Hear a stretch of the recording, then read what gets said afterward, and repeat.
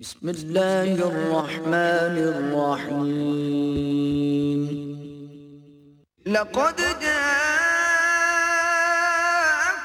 رسول من أنفسكم عزيز عليه ما عنتم حريص عليكم بالمؤمنين رؤوف رحيم.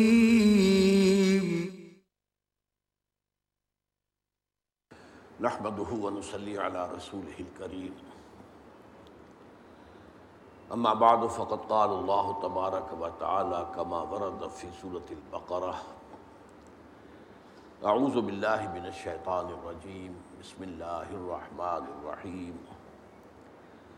ولا تأكلوا أموالكم بينكم بالباطل وتدلوا بها إلى الحكام لتأكلوا فريقا من أموال الناس بالإثم وأنتم تعلمون.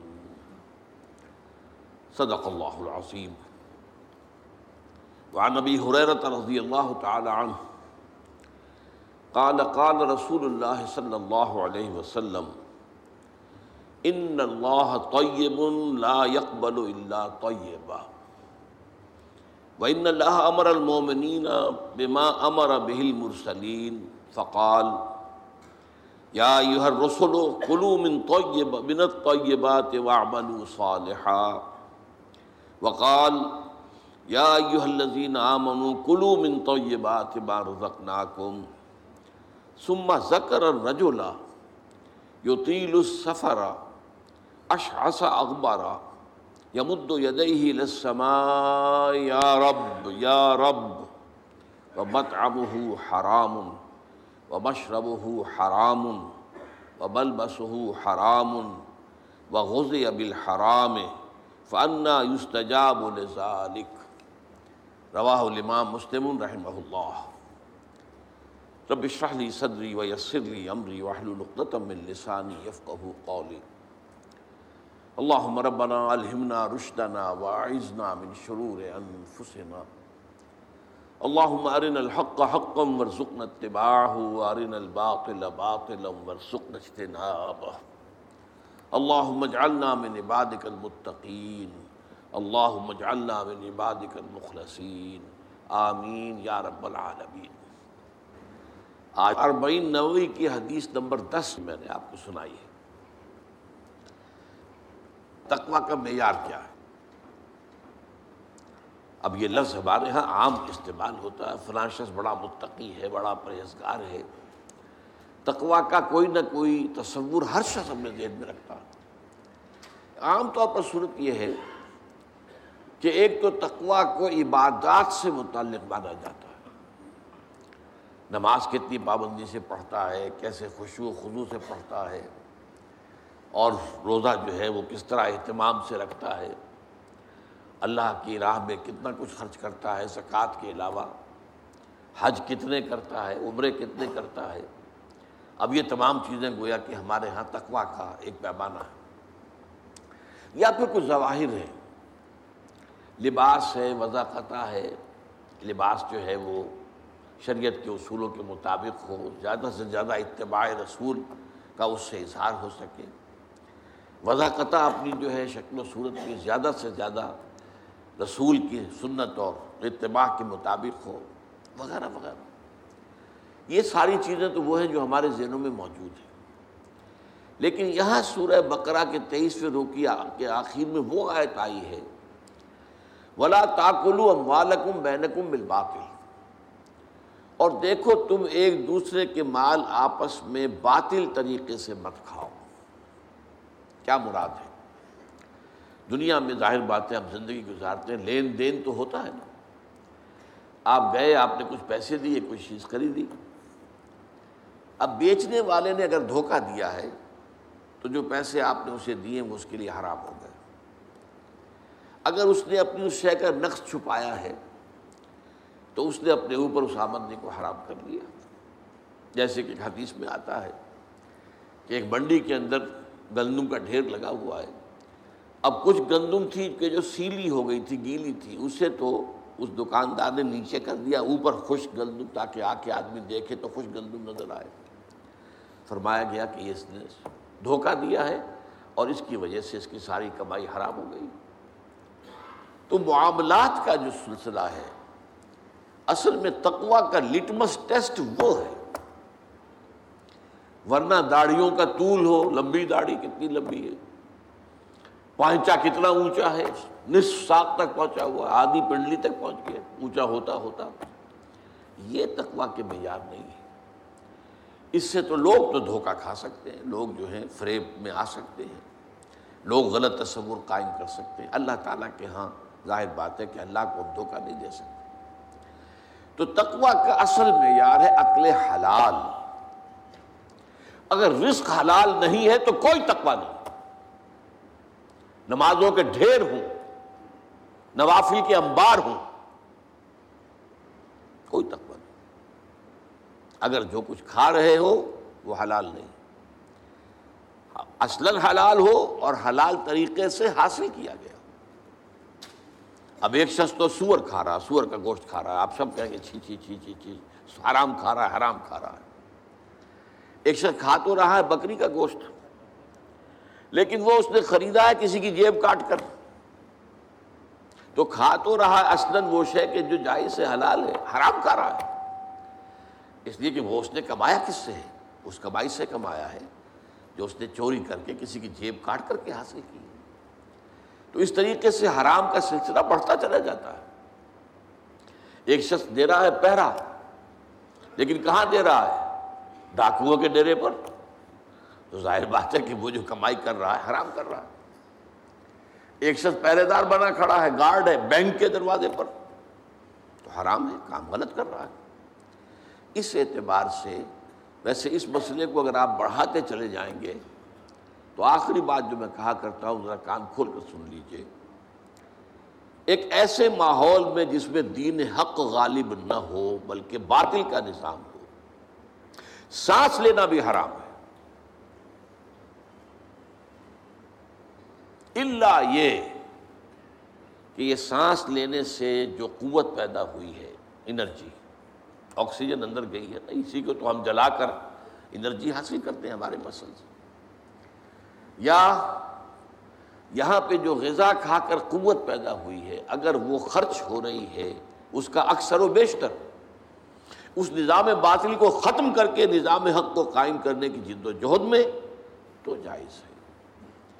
ورنہ سانس لینا بھی حرام ہے۔ لو سانس بھی آہستہ کہ نازک ہے بہت کام۔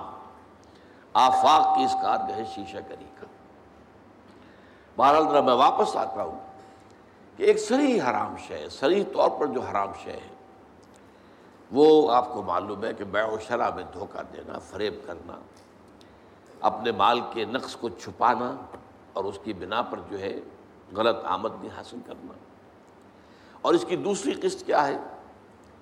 تدلو بحا الحکام لتاکلو فریقم نموار الناس بالاسم اور اسی طرح تم اپنے مال کو ذریعہ نہ بناؤ، حکام تک پہنچنے کا۔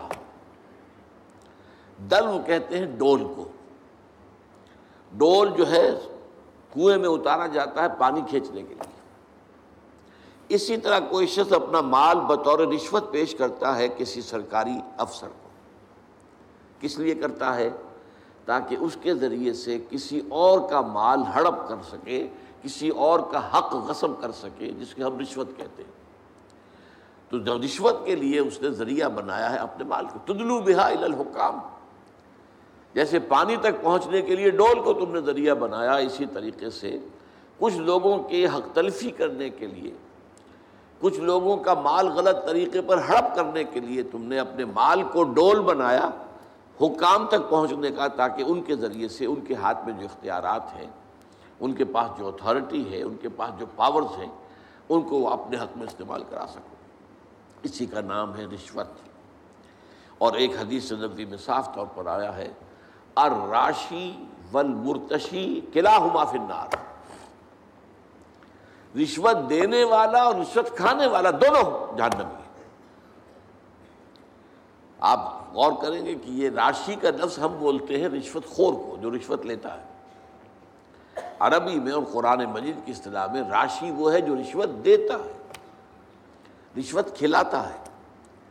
اور یہ بات ذرا اگر آپ گہرائی میں تجزیہ کریں گے تو معلوم ہوگا کہ رشوت کی اصل بنیاد رشوت دینا ہے۔ لوگ جو ہے وہ غلط کام کرانے کے لیے مٹھیاں گرم کرتے ہیں۔ اب جب وہ مٹھی گرم ہونے کی عادت ہو گئی تو جب تک گرم نہ ہوگی کام نہیں ہوگا۔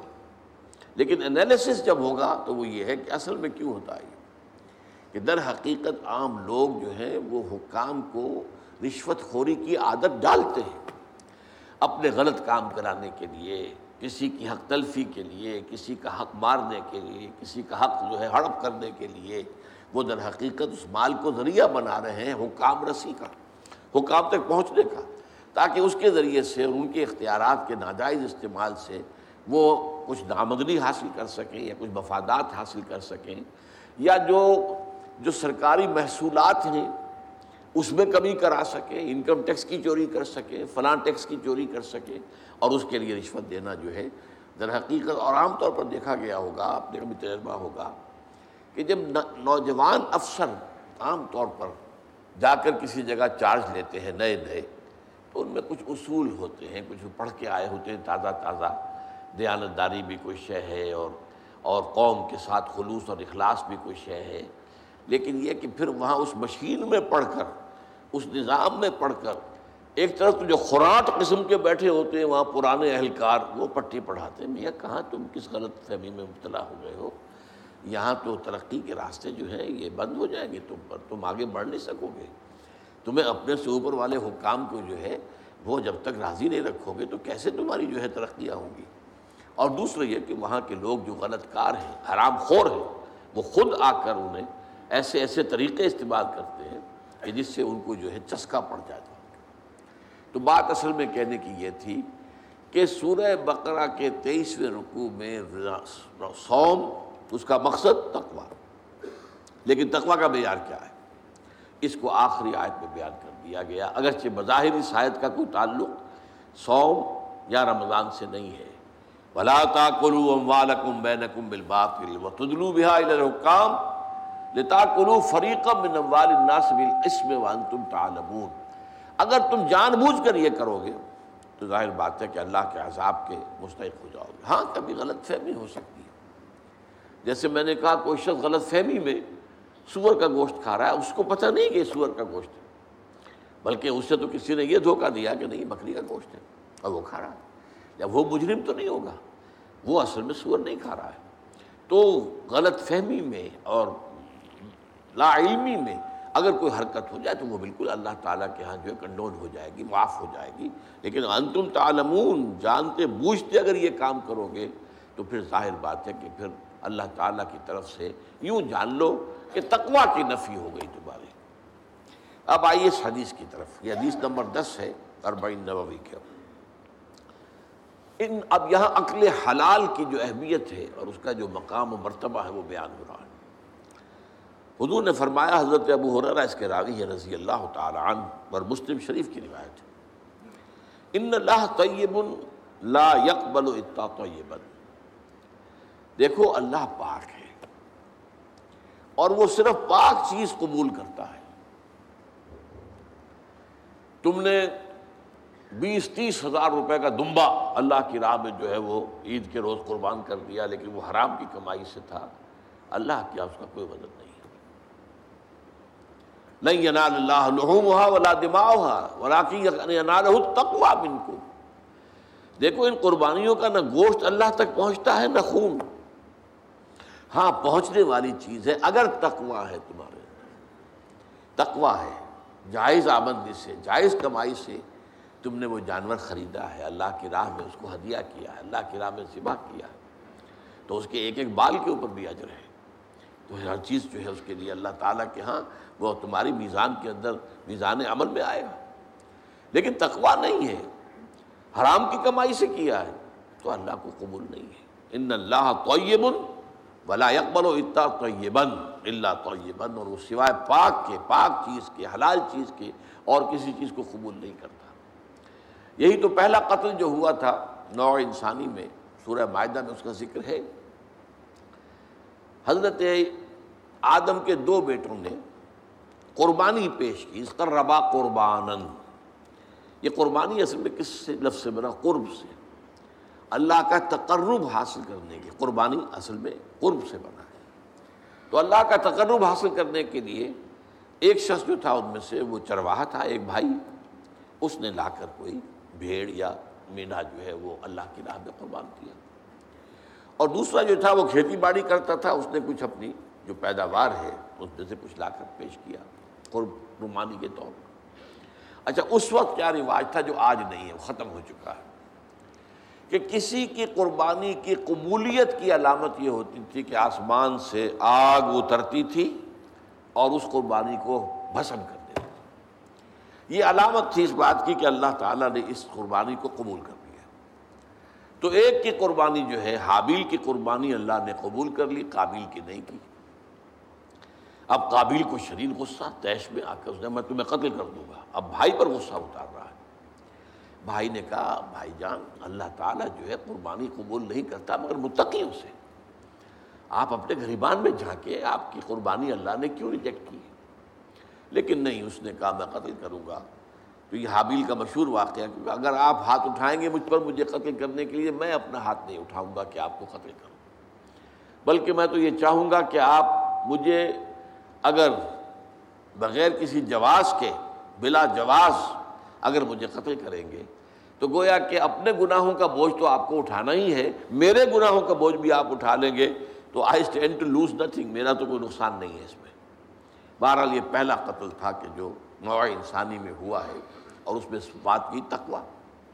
اللہ تعالیٰ جو ہے، وہ تو متقیوں سے قبول کرتا ہے قربانی۔ وہ مالی ہو، کسی طرح کی قربانی ہو، وہ عبادت ہو، بدنی عبادت ہو۔ التحیات اللہ وسلمات و طیبات یہ ساری چیزیں جو ہے یہ اگر تقوا کے ساتھ ہیں، تو اللہ کے ہاں قابل قبول ہے، ورنہ نہیں۔ وہ ان اللہ امر المومنین حضور فرماتے ہیں، اللہ نے اہل ایمان کو بھی وہی حکم دیا ہے، بما امر بہل مرسلین جو اس نے اپنے رسولوں کو حکم دیا اب یہاں دیکھیے کہ حضور سورہ مومنون کی ایک آیت کوٹ کر رہے ہیں۔ سورہ مومنین کی آیت نمبر اکیاون ہے۔ یا یہ رسولو کلو منت طیبات وعملو صالحہ اے میرے رسولو، پاکیزہ چیزیں کھاؤ اور عمل نیک کرو۔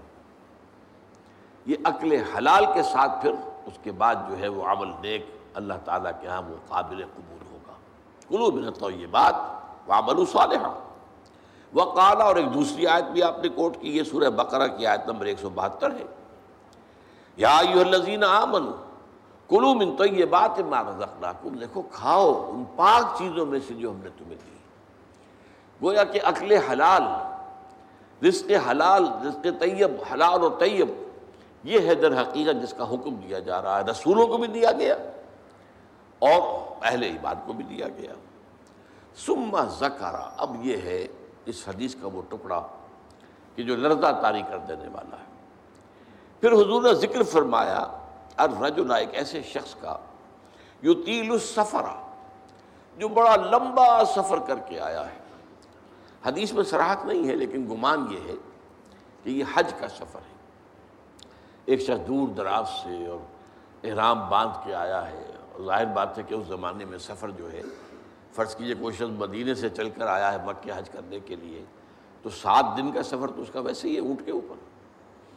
اب کیا اس کا حال ہو جاتا ہوگا؟ احرام کی پابندیاں۔ نہاتا بھی نہیں ہے۔ مبادہ کو بال ٹوٹ جائے، دم دینا پڑ جائے۔ اس حوالے سے اور انتہائی احتیاط کے ساتھ جو ہے، اور وہ چل رہا ہے اور سات دن کا سفر کیا ہے، تو کیا حال ہوا ہوگا؟ کپڑے میلے بوسیدہ، احرام میلا اور بوسیدہ ہو گیا ہوگا۔ بالوں کے اندر جو ہے، وہ پراگندہ ہوں گے، بال۔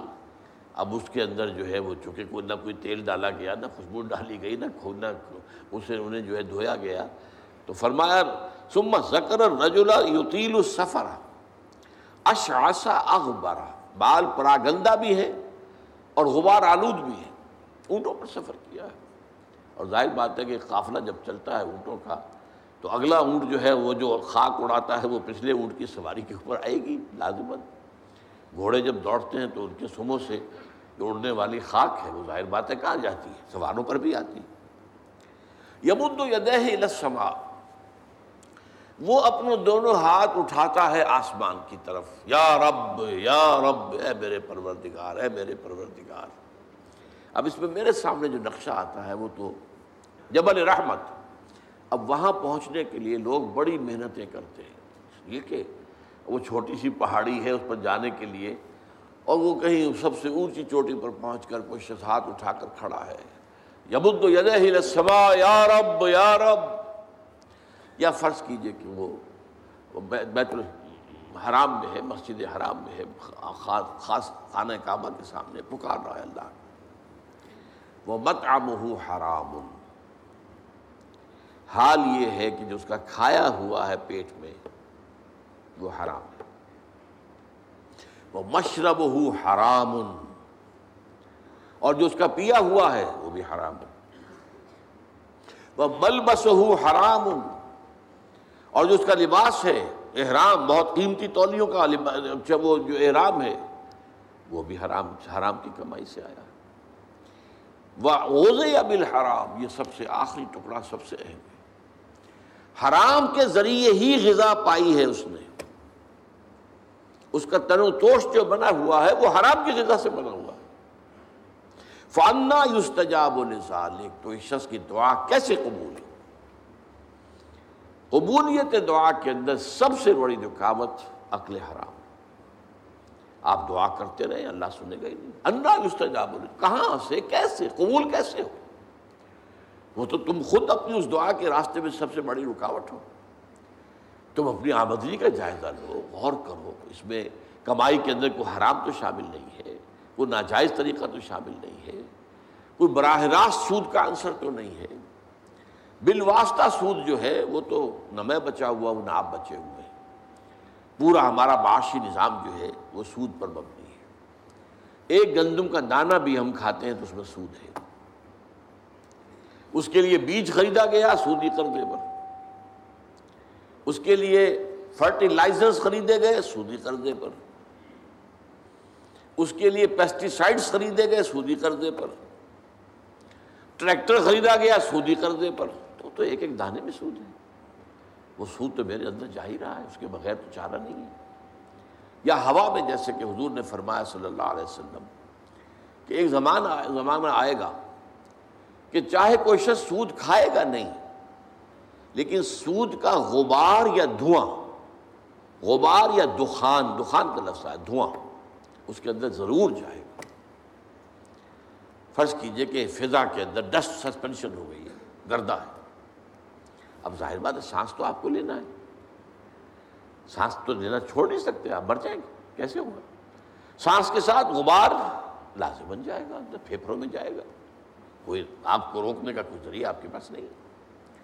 یا کہیں جو ہے جو دھواں بھر گیا ہے۔ فرض کی جیسے آگ لگتی ہے بڑی اونچے ہوٹلوں کے اندر چودہویں منزل کے اوپر جو ہے آگ لگی ہے، کمروں کے اندر دھواں بھر گیا کہاں جائے لوگ؟ چودہویں منزل سے چھلانگ لگائیں تو ویسے ختم ہڈیاں جو ہے اس کا چورا ہو جائے گا۔ بہرحال جو بھی شکل جو بیتتی ہے، تو سانس تو لینے پر مجبور ہے، جب تک بھی سانس آئے تو دھواں اندر جائے گا۔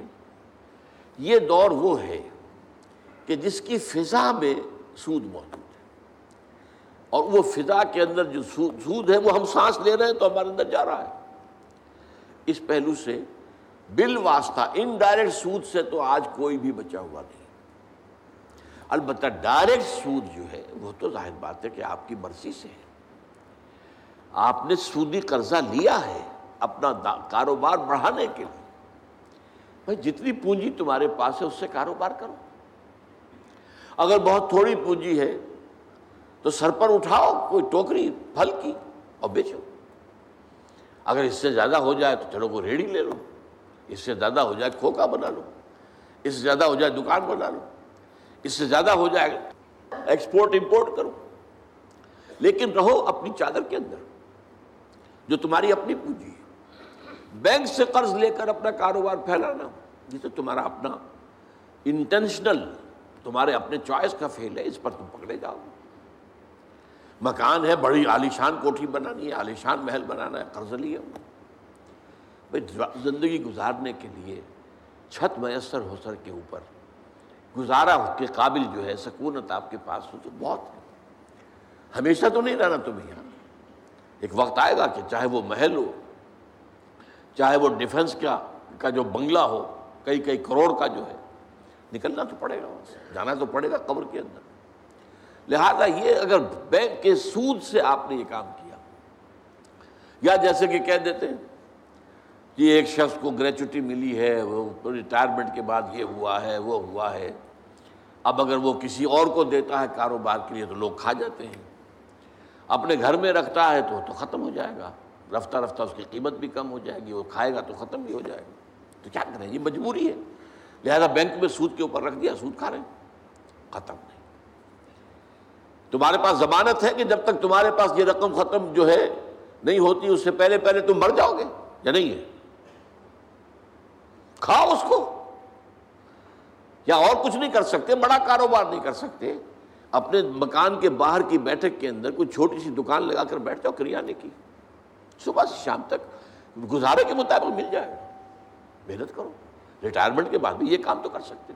اور نہیں تو چیو جو کچھ بھی ہے، تمہارے پاس جمع پونجی، اسے کھاؤ۔ اس کے بعد اللہ پر توکل رکھو۔ رزق جو ہے اللہ کے ذمے ہے۔ کیا پتا؟ اس پیسے کے ختم ہونے سے پہلے ہی تمہاری موت آ جائے۔ اور تمہیں جو ہے عقل حرام جو ہے، اس کی طرف نہ جانا پڑے۔ لہذا یہ ساری باتیں جو ہیں، یہ بہانے ہیں۔ تو اس اعتبار سے سود سے بچنا، براہ راست سود کی کوئی شکل کسی حالت میں جائز نہیں۔ وہ آپ لاکھ مجبوری کا کیا کرے؟ بیوہ ہے، بیوہ کے پاس پیسے ہیں، وہ وہ کیا کرے؟ کہاں لگا دے؟ کس کو دے دے؟ وہ سب کھا جائیں گے، یہ کریں گے، وہ کریں گے۔ قطن کوئی عذر نہیں، حرام کے لیے۔ ہاں آدمی کی جان پر بن گئی ہو، مر رہا ہو، یا مر رہی ہو کوئی عورت، اور سوائے کسی حرام شے کے کھانے کے اور کچھ نہ ہو، تو اس حد تک صرف جان بچانے کے لیے حرام کھانے کی اجازت فمن استر غیر باغن ولا عادن دو شرطوں کے ساتھ، اضطرار کی کیفیت ہو، انتہائی جو ہے مجبوری کا عالم ہو، غیر باغن ولا عادن اس کی طرف خود کوئی دل میں تمنا نہ ہو، عارضی نہ ہو، یہ نہ ہو کہ خواہش بھی ہو حرام کھانے کی۔ اور یہ کہ جو کم سے کم مقدار ضروری ہے جان بچانے کی، اس سے آگے بڑھے بھی نہیں۔ یہ دو شرطیں پوری کی ہوں تو حرام کھا، کی اجازت ہے، اللہ تعالیٰ معاف فرما دے گا۔ لیکن عام حالت میں آپ اپنے کاروبار میں، اپنے پیشے میں، اپنے معاش میں اگر حرام کا کوئی عنصر مستقل طور پر اس کو قائم کر لیتے، تو پھر ہمارے آج کی گفتگو کا حاصل کیا ہے؟ تقوا کی نگیشن ہو جائے گی۔ تقوا پھر نہیں ہے۔ پھر جیسا کہ روزے کے ذمن میں بھی وہ احادیث ہے۔ اب ایک شخص ہے، روزے رکھ رہا ہے اور سودی کاروبار کر رہا ہے۔ تو یہ روزہ ہے۔ حضور نے فرمایا ملم یدا قول زور والعمل بھی فلیسن اللہ حاجت میں یدا تعامہ ہوا شرابہ۔ جس شخص نے جھوٹ بولنا نہیں چھوڑا اور جھوٹ پر عمل کرنا نہیں چھوڑا، اللہ کو کوئی ضرورت نہیں ہے کہ وہ اپنا کھانا پینا چھوڑ دے۔ یہ فاقہ کر رہا ہے، کھانا پینا چھوڑا، یہ روزہ تو نہیں ہے۔ اہم روزے کی حالت میں رشوت لے رہے ہیں۔ اہم روزے کی حالت میں جھوٹ بول رہے ہیں۔ اہم روزے کی حالت میں لوگوں کو دھوکہ دے رہے ہیں۔ روزہ؟ یہ روزہ نہیں ہے بھائی، یہ تو فاقہ ہے۔ اس لیے فرمایا، کم من من لیس له من صوم الا الجوع۔ کتنے ہی ہیں روزے رکھنے والے جنہیں اپنے روزے سے سوائے بھوک اور پیاس کے کچھ حاصل نہیں کوئی اجر و ثواب ہے ہی نہیں۔ اس لیے کہ یہ تو روزے میں کھانا پینا حلال چیز کا بھی تمہارے اوپر حرام کر دیا گیا دن کے وقت۔ لیکن جھوٹ بولنا تو مستقل حرام ہے۔ رشوت لینا تو مستقل حرام ہے۔ سودی لین دین تو مستقل حرام ہے۔ وہ مستقل حرام جو ہے، وہ عین روزے کی حالت میں بھی جاری ہے۔ تو ظاہر بات ہے کہ یہ روزہ نہیں ہے۔ تو جیسا کہ میں نے عرض کیا، روزے سیام قیام رمضان یہ بھی ہے۔ فلیس اللہ من سیام ہی اللہ جو و بن قیام ہی اللہ سہر یہ رات کو کھڑے رہنا بھی اس سے بھی سوائے انیندرا جسے آپ کہتے ہیں کہ نیند کی قربانی اس نے دی ہے اور اسے حاصل کچھ نہیں ہوگا۔ نیند اس نے اپنے کھوئی ہے، اسے حاصل کچھ نہیں ہوگا۔ نہ قیام لیل سے اور نہ سیام النہار سے۔ اس اعتبار سے تقوا جو ہے در حقیقت وہ ہے اصل اور وہ ہے مالی معاملات میں تقوا معاملات انسانی میں تقوا بے و شرح میں تقوا کاروبار میں تقوا آمدنی میں تقوا جب تک کہ حلال نہیں ہوگا، اس وقت تک ظاہر بات ہے کہ تقوا نہیں ہوگا۔ یہاں چونکہ تقوا کا مضمون آئی گیا ہے، تو میں آپ کو ایک بہت پیارا واقعہ سنا دیتا ہوں کہ تقوا کی تعریف کیا ہے۔ اس پر حضرت عمر رضی اللہ تعالیٰ عنہ کی مجلس شورا میں کچھ بحث چھڑ گئی۔ تقوا کسے کہتے ہیں؟ ہاؤ ٹو ڈیفائن تقوا تقوا کی ایک جامع و معنی تعریف کیا ہوگی؟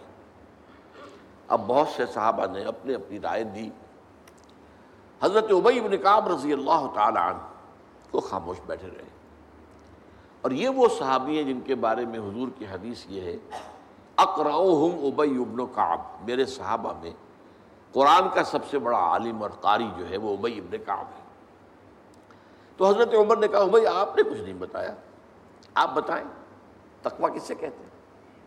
اس پر انہوں نے کہا، امیر المومنین، اگر کسی شخص کو کسی خاردار جنگل میں سے گزرنا پڑے، اوپر جھاڑیاں ہیں، کانٹوں دار ہیں، درخت ہیں، نیچے لمبی لمبی گھاس ہے کوئی پگڈنڈی بھی بنی ہوئی نہیں ہے کہ جو راستہ نظر آ رہا ہو۔ کیا پتا کہیں گھاس کے اندر کوئی سانپ کنڈلی مارے بیٹھا اور آپ کا پاؤں اس پر پڑ جائے۔ اور آپ کو معلوم ہے امیزن کا تاس اور کانگو کا تاس جو ہے یہ جو دنیا میں جو سب سے زیادہ گھنے جنگل ہیں، افریقہ میں اور ایک ساؤتھ امریکہ میں۔ ان میں تو سانپ اوپر سے بھی لٹکے ہوئے ہوتے درختوں سے، شاخوں سے لٹکے ہوئے بھی۔ اب کسی کو گزرنا ہو تو کس طرح پھونک پھونک کر قدم رکھے دیکھ دیکھ کر چوکن نہ ہو کر اچھی طرح احتیاط سے۔ یہ در حقیقت تقوا ہے۔ بچنا۔ کہیں میرے کپڑے کسی کانٹوں میں الجھ نہ جائیں۔ کہیں میرا پاؤں کسی موزی جانور کے اوپر نہ آ جائے۔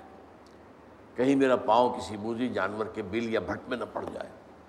اب اس طریقے سے پھونک پھونک کر جس کو ہم کہتے ہیں محاورے میں پھونک پھونک کر قدم رکھنا اور پوری طرح چوکس اور چوکنے ہو کر راستہ طے کرنا، یہ تقوی ہے۔ اس پہلو سے در حقیقت یہ زندگی جو ہے یہ بھی ایک سفر ہے۔ جس کے لیے حضور حدیث ہے حضور کی، کن فر دنیا کا ان کا غریب و عابر و سبیل۔ دنیا میں ایسے رہو جیسے کہ تم اجنبی ہو۔ یہ بہت قابل غور ہے معاملہ۔ اصل میں ہم دیکھتے ہیں عام لوگوں کی دلچسپیاں کیا ہیں؟ عام لوگ کدھر بھاگ رہے ہیں، کدھر دوڑ رہے ہیں؟ سب کو دنیا کی پڑی ہوئی ہے۔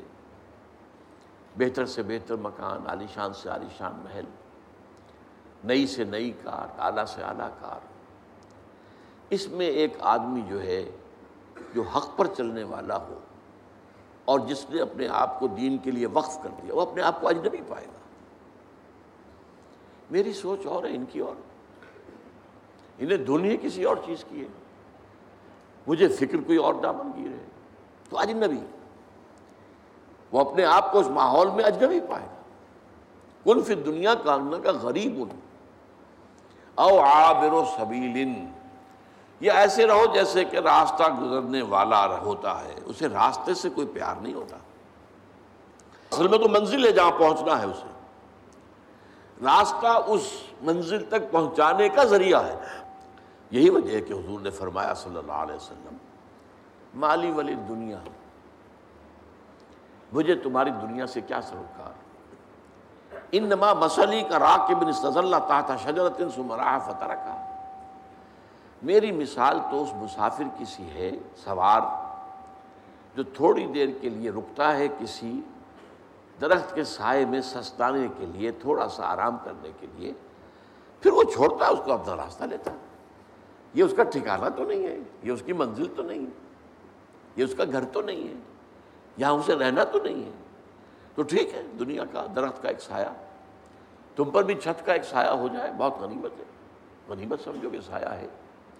لیکن یہ کہ عالی شان محلوں کے آرزویں دماغ سے نکال دو۔ دنیا کی چیزوں کی طلب جو ہے، وہ دل سے نکال دو باہر کر دو۔ جس کو کہتے ہیں کہ یہ جیسے ہے جیسے کہ سمندر میں کشتی جا رہی ہے سمندر کشتی چل رہی ہے پانی پر۔ لیکن اگر یہ پانی آ گیا کشتی میں تو ڈوب جائے گی۔ لہذا دنیا میں رہو۔ یہ سمندر ہے جس میں تمہاری کشتی چلنی ہے۔ لیکن اس پانی کو دل میں مت آنے دو۔ اس کی محبت، اس کی آرزو، اس کی تمنا، یہ دل میں کہا ہے۔ کل فت دنیا کا ان کا غریب و نعابر و سبیل۔ اور اسی حوالے سے ایک اور حدیث۔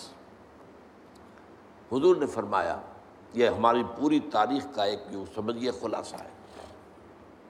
بدا الاسلام و غریباً بس و کما بدا فتوبہ للغربا اسلام کا جب آغاز ہوا ہے تو وہ غریب تھا، اجنبی تھا، کوئی اس کا پہچاننے والا تھا ہی نہیں۔ آپ سوچئے، مکہ مکرمہ کے ابتدائی دنوں میں حضور کیا محسوس کرتے ہوں گے؟ کوئی ہے میرا جاننے والا، میرا پہچاننے والا؟ کوئی ہے؟ ظاہر بات ہے کہ بالکل اجنبی اکیلے، تنہا۔ معدود چند ساتھی آئے ہیں۔ تو اسلام غریب تھا۔ بدال اسلام و غریب اس کے بعد ایک وقت آیا کہ اسلام کو اللہ نے طاقت دی۔ اذا جاء نصر اللہ والفتح ورائت الناس يدخلون فی دین اللہ افواجا۔ جب اللہ تعالیٰ کی نصرت آ گئی اور فتح آ گئی اور آپ نے دیکھا یا آپ دیکھیں، دو ترجمے ہو سکتے ہیں۔ کہ لوگ جو ہیں جوک در جوک فوج در فوج اللہ کے دین میں داخل ہو رہے ہیں۔ وہ وقت بھی آ گیا۔ تو اب اسلام غریب نہیں رہا۔ اب تو سب اسلام کے دوست بن گئے۔ اسلام کے چاہنے والے ہو گئے۔ اسلام جو ہے وہ طاقتور کے تو سبھی ساتھی سبھی دوست ہیں۔ لیکن بس سعود و کما بدا۔ ان قریب اسلام پھر اجنبی ہو جائے گا جیسا کہ وہ پہلے اجنبی تھا یہاں سین آیا ہے، سیعود، صوفہ نہیں۔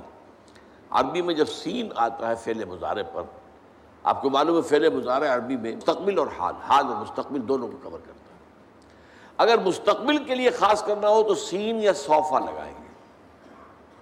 سیقول الصفحاء من الناس ما واللہ من قبلتهم التي كانوا عليها ان قریب کہیں گے لوگوں میں سے، یہ نادان لوگ کہ کس چیز نے انہیں پھیر دیا اس قبلے سے جس پر یہ تھے جب تحویل قبلہ کا حکم آیا۔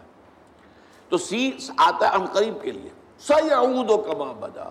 ان قریب اسلام پھر غریب ہو جائے گا جیسا کہ پہلے غریب تھا۔ اب جو بات سمجھنے کی ہے، مسلمان غریب نہیں رہے، امیر سے امیر تر ہوتے چلے گئے۔ لیکن اسلام خلافت راشدہ کے خاتمے کے ساتھ ہی غریب سے غریب تر ہوتا چلا گیا۔ It's a very big contrast دورے بنو بھیا میں، دورے بنو عباس میں۔ کتنا کتنا عروج ہوا مسلمانوں کو۔ مسلمان ترقی پر ہیں۔ مسلمان جو ہے ان کی سطوت ہے، ان کی شوکت ہے، شان ہے، ان کا غلبہ ہے، ان کی حکومت ہے۔ اس وقت کی دنیا کی عظیم ترین سلطنت ان کی ہے، سلطنت عباسی ہے، بنو عباس۔ لیکن اسلام غریب ہونا شروع ہوا۔